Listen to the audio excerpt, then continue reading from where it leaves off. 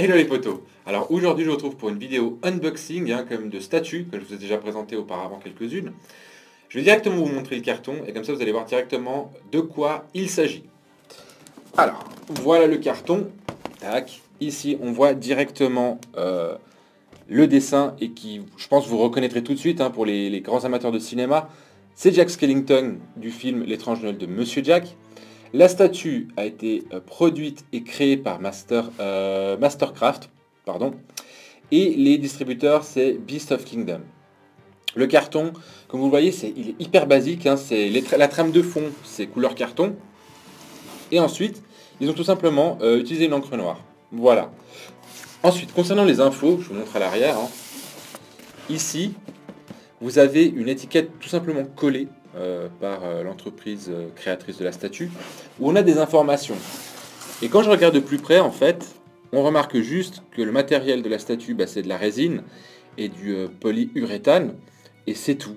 Pas de poids, pas de taille, pas de nombre de, statues produites en tout, donc on ne sait pas à combien elle est limitée, si à 5000, 2000, 1000, on ne sait pas.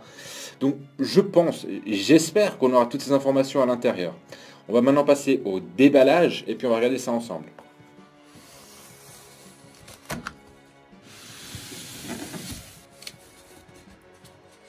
Alors, ça y est, l'emballage est ouvert. On va regarder la première chose qui apparaît dedans.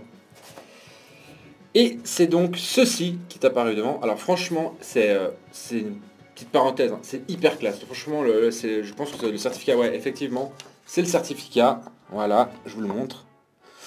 Et franchement, au niveau euh, papier, enfin tout ce qui est papeterie, c'est super classe. Après, justement, ce que je vous disais avant, il n'y avait pas d'informations sur la boîte. Est-ce qu'il y a des informations qui manquent ici? Alors je lis vite fait hein, comme ça, mais euh, euh, non, pas du tout. La seule chose qu'on sait, c'est que c'est euh, l'article numéro MC015, voilà, qu'on voit là, tac. Et on sait également que c'est le numéro 220, qui est juste là. Au-delà de ça, on n'a aucune autre information sur la statue. Donc voilà, ce que je vais faire, en fait, je vais essayer de contacter euh, soit Beast of Kingdom, soit ou même, hein, je vais faire les deux, hein, euh, Mastercraft, et je vais essayer d'avoir ces informations. Et puis, euh, si jamais il y a une nouvelle de leur part, je mettrai une petite mise à jour dans la barre d'infos, et si ça vous intéresse, vous pourrez toujours aller jeter un œil. Alors, la pièce suivante, c'est tout simplement ceci. Voilà. C'est le socle de la statue. Je regarde juste en retour si vous le voyez bien. Ouais, vous le voyez bien, impeccable. Alors, comme ça, à vue d'œil, c'est vraiment impeccable comme travail. Euh, alors, on reconnaît bien cette montagne, pour ceux qui ont vu le film, on reconnaît bien cette espèce de montagne avec l'espèce de petit tourbillon ici, euh, qu'on voit, je pense que pratiquement tout le temps dans le film, c'est là où Jack va généralement chanter ou penser tout ça. C'est vraiment hyper typique de ce film-là. Après, j'ai peut-être un petit défaut à lui donner à, cette, à ce socle perso, après ça reste perso, c'est qu'il y a deux fois une plaque. Il y a la plaque ici où c'est marqué l'étrange Noël de Monsieur Jack, et on a une plaque ici en, métal, je présume qu'elle est en chrome, euh, où c'est marqué, alors justement, euh, je vais vous lire ça, c'est marqué Jack Skellington et le numéro de la pièce, le 220. Ça fait un peu chargé. Je pense que cette partie-là, cette pièce-là, je l'aurais pas mise en fait. Tout simplement l'espèce de, pierre tombale avec le titre du film, je l'aurais viré et j'aurais tout simplement laissé la pièce euh, en chrome. Au-delà de ça, petite information supplémentaire, ça je l'avais déjà vu quand j'ai acheté la statue sur le site, euh, les citrouilles brillent dans la nuit, hein, vous savez, c'est vraiment le truc fluorescent qui était super à la mode dans les années 90-80. Et eh ben là, euh, ces, citrouilles-là s'illuminent dans la nuit, bon c'est un petit gadget, mais c'est toujours là. Et voilà, je trouve que c'est super euh, simple, mais efficace. Ah, petite chose, maintenant j'y pense, souvent dans les socles de statue, je vais juste regarder avec vous. Non, rien. Des fois, il y, a des informations aussi sous le socle. Ici, rien, c'est juste une, une, espèce de, tissu un peu en velours, justement, qui fait office de patin pour que ça évite de rayer ou que ça évite de casser la peinture. Enfin bref, ça, par le coup, le détail, il est cool, mais toujours pas d'informations. Alors, on se retrouve maintenant avec la dernière pièce, hein, qui est la, pièce principale de la statue. Je vous la montre. Je fais super gaffe. Mais voilà, c'est Jack. Voilà, vous inquiétez pas si jamais, après je fais, euh, vous, pourrez aller voir, il y a des plans larges et tout, comme ça vous pourrez vraiment bien voir comment elle est faite. Et alors qu'est-ce que j'en dis? Elle est juste, elle est magnifique. Elle est vraiment magnifique. Euh, oh là là, c'est incroyable. C'est vraiment magnifique. On a l'impression de tenir vraiment une pièce du film dans les mains. tellement les, les peintures sont impeccables. Les détails de sculpture, alors que souvent c'est souvent ça qui fait défaut, c'est la peinture qui joue pas. Enfin vraiment c'est impeccable.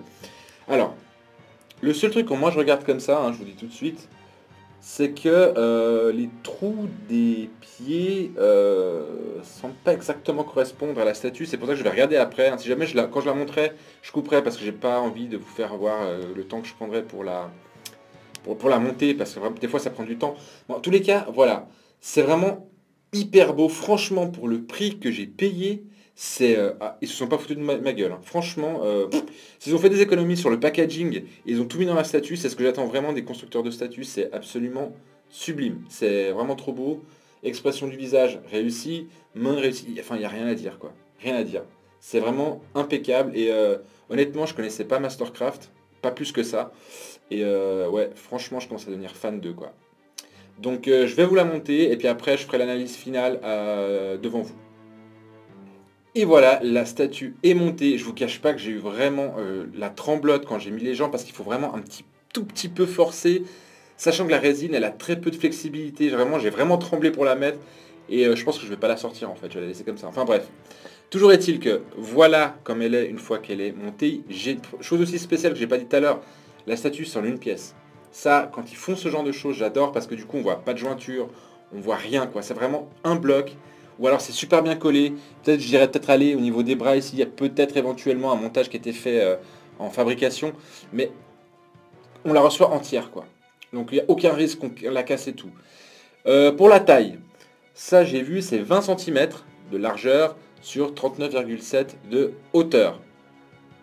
Alors voilà, une fois qu'elle est sur son socle, j'ai peut-être un petit regret personnel, mais après euh, je pense que j'en demande peut-être un peu trop c'est que euh, si vous regardez bien, Jack Skellington n'est pas du tout à, l'échelle de la montagne, bien évidemment, sinon je pense que la statue aurait été euh, genre dix fois plus grande, en tout cas la montagne aurait été dix fois plus grande pour que Jack puisse correspondre enfin, proportionnellement à la statue.